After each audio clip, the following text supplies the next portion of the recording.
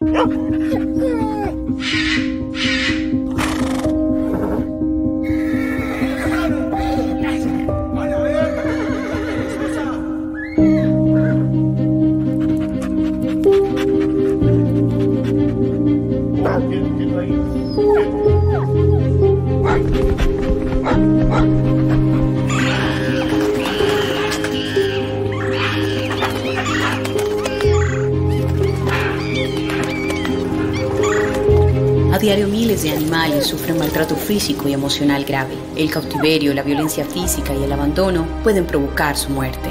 La Fiscalía General de la Nación lucha contra este delito haciendo justicia a través del Grupo Gelma. Denuncia en la línea 122. Fiscalía General de la Nación en la calle y en los territorios.